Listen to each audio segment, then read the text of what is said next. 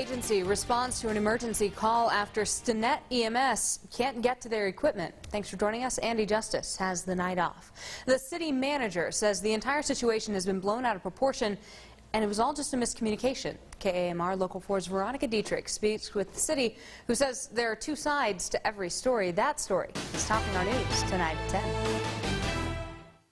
That was a miscommunication between me and the EMS volunteers, and that's all it was. City Administrator Andy Trahan says EMS volunteers were never purposely kept out of the building.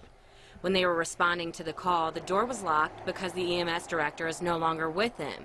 And anytime there is an employee change with the city, the codes on the doors are automatically changed. My door is always open.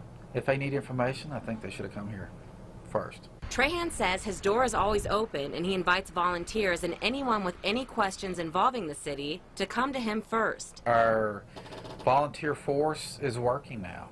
They're covering night shifts in the city of Stinnett and Borger's covering the day. And when this episode happened, the city of Borger was already covering uh, the city, and Stinnett EMS was not even toned for this call. He wants to assure the community they have everything under control, and he says the safety of the community is the city's main concern. Trahan says he is always available to answer any questions or to clear up any confusion about situations such as this one, and again says this was just a miscommunication. All the information needs to be gathered before someone jumps to conclusions, and that's what happened here. There's always two sides to every story. The city tells us it's necessary the EMS building be locked at all times because inside are emergency vehicles, narcotics, special equipment, among other important items.